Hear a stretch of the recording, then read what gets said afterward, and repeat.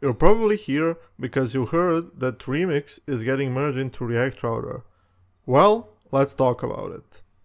If you didn't already, I highly recommend you read this article. It explains a lot of stuff in detail, but I'll go over everything we know up to this point so you guys understand what's going on and why this makes perfect sense. So if we scroll down a little bit, and if we read what Remix team wrote here, they've been building Remix for over 4 years now. And they go over in detail why, while they were building Remix and merging stuff back into React Router, the difference between Remix and React Router became smaller and smaller. After they added single page application mode in version 2, that difference became even smaller, throwing out the compiler and switching to a Vite plugin didn't help either, because it almost boiled down to the same app just re-exported from Remix. And naturally, because the projects are so similar in nature and Remix mostly re-export stuff from React Router anyways, the natural course of events here was to merge Remix into React Router. But in order for you to understand why this happens,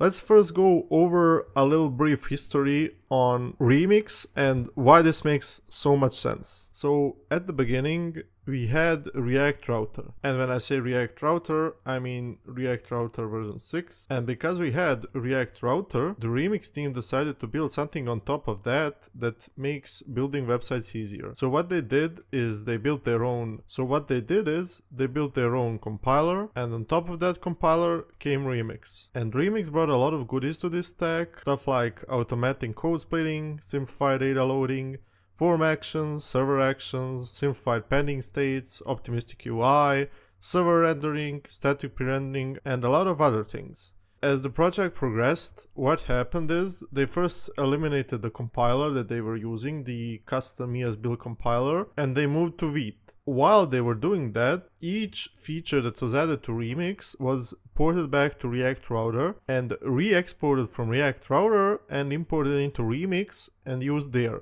So naturally what happened over time is the React router grew and grew more similar to Remix. And after a while, what happened is that the difference between React router and Remix itself became so little that it didn't even make sense to actually have Remix as it is right now because they were basically exporting 99% of functionality from React router and then reusing it in Remix. So why that makes sense to move Remix to React Router is you move this little little difference into React Router, it grows a little bit more in feature set, and then all of this becomes React Router features instead of Remix. And then after that, what can happen in the future is Remix will grow in a different direction. It will still use React Router as its basis, but it will head in a completely different direction depending on what the Remix team reveals. For now, we have the codename Reverb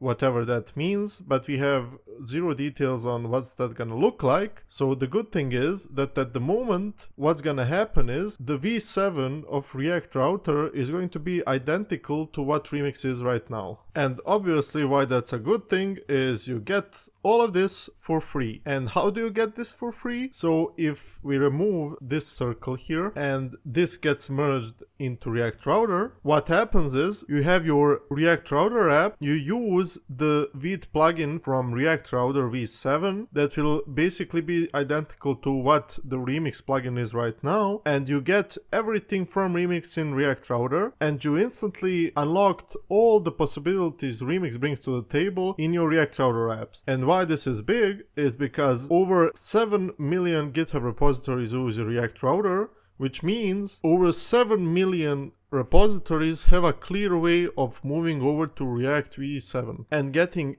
everything that Remix has improved in the ecosystem out of the box. Coming back to the article, now that we understand why the decision was made, let's go over the next sections and dive a little further. React Router is used by 7.8 million public repositories on GitHub and God only knows how many hidden ones. And naturally, while looking at it, it makes so much more sense for them to go into the direction of merging Remix into React Router than the other way around. If you already didn't know, Remix and React Router are owned by Shopify one of the biggest companies in the world, and they use React Router for a 5 million lines of code application. So imagine the headache of moving that application over to Remix. And then scrolling down again, we already have a list of why Remix is so great, and they go over how Create React App was the best way to create React applications, but they were minimal in terms of what they offered out of the box, and most applications that were created with Create React App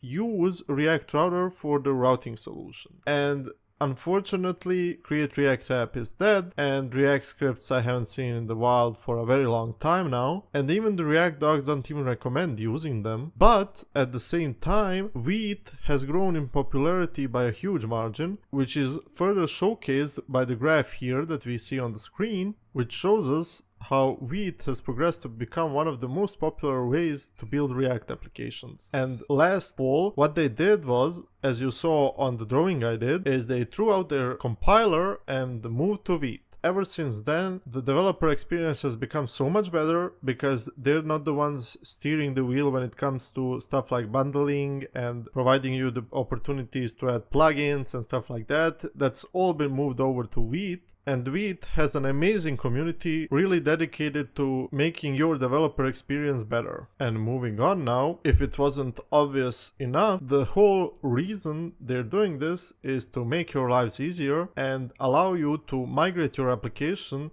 just by changing the major version. In theory, if you've been keeping up with either Remix or React Router, this is not a big deal for you because they've been adding incremental features by leveraging future flags and what future flags allow you to do is opt into future features right now before the major is released and that incrementally allows you to move your app over to the latest and greatest stuff and this further allows you to have a better pathway to the modern new React 19 and when we come to the last section of what's next, we can see that they already mentioned this by saying that if you upgrade to the latest minor version of Remix or React Router and enable all feature flags and change the package imports, you'll already be good to go for the future. Let's discuss what that all means. I want to show you two RFCs by the Remix team that have been open for a while now and one of them is already implemented and released as a future flag but this one is really interesting. So this is the use the remix package. And if you don't know what this is about, it's the fact that remix is a monorepository that exports a lot of remix run slash x packages for every adapter they made for example for node or for anything else you would have to use the specific adapter and then you would have the remix run slash react and the most basic primitive that's underneath all the adapters is the server runtime one. Historically, this decision was made to make Remix more adaptable to a lot of other stuff. They even plan to maybe port it to other frameworks like Angular and Vue and stuff like that, hence the Remix Run slash React. But ever since they've given up on the idea, they ended up with a lot of packages that you have to install and then you have to keep the versions synced and in line. This RFC would allow them to basically bring everything back together into a single repository as that would allow you to easily update your remix versions and plus that would allow open source contributors or third party packages that rely on remix to be easily made because currently you would have to use a lot of these packages independently and then you would also have to sync them and you would have to worry about a lot of internal stuff. This RFC is technically implemented now because what they're gonna do is they're not gonna use the remix package but move everything back to React Router. And if we scroll down here and look at the proposal, you can see that's exactly what's going on right now. So move all shared code from Remix server runtime to Remix, move all code from Remix Run React to Remix, and third-party packages can stop depending on Remix server runtime, and simply declare Remix as a peer dependency. So basically, if I open up the console here, I can just change this to React Router, and then change this to React Router, and then also we change this to React Router. And here we are. The proposal is pretty much done. But jokes aside, this is what moving back to React Router actually means. And this makes so much more sense than them moving it back to remix package because the remix package has like 17k downloads a week and everybody keeps getting confused on the amount of weekly downloads even the react summit got it wrong and they posted that remix has 17k weekly downloads, which makes no sense. And it's really even hard to track down how many downloads it has because you need to know which package is used across all projects. And that's a hidden one called remix run slash router. And that's it for this proposal. But I want to look at another one. And the other one is called single data fetch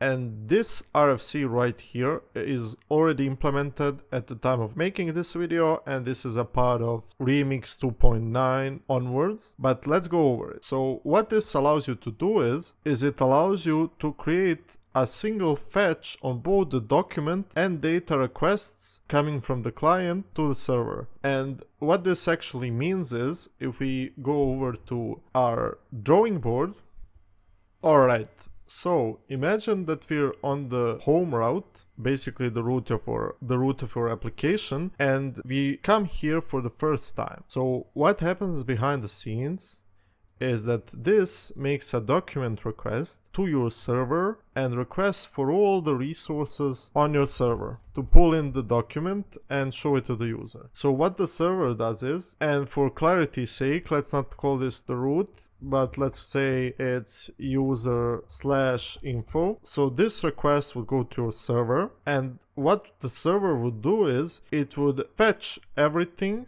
and then send it back. And then let's say you navigate to a new route and that route is product slash one slash new and what would happen here, all of these subpaths would make a separate request to your server and then the server would basically respond to each one individually. And this was the reason why you would have to add guards into every loader because all of them fired in parallel and if you didn't protect all of your URL subpaths, you could end up exposing data that's sensitive. And this is where single fetch comes into play.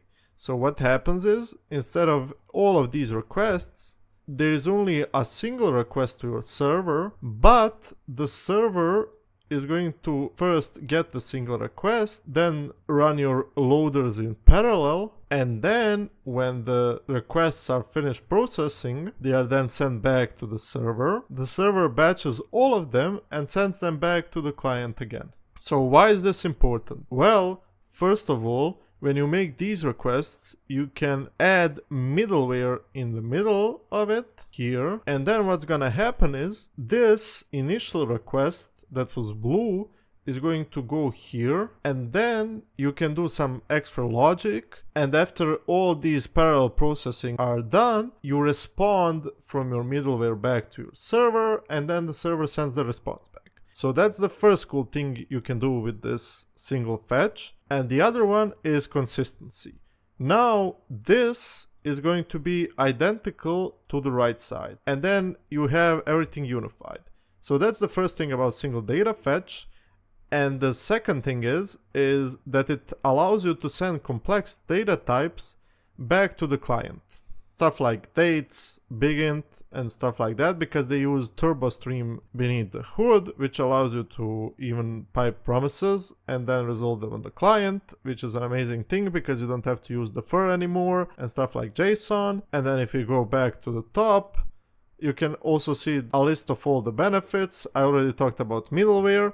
Then you have the server context, the static data pre-generation, the efficient sub-request caching, future RSC support, more granular validation, and this was the biggest major blocker for them to move on to all the other stuff that they had planned, and now that this is done and alive, this is getting merged back into React Router, and you get this for free.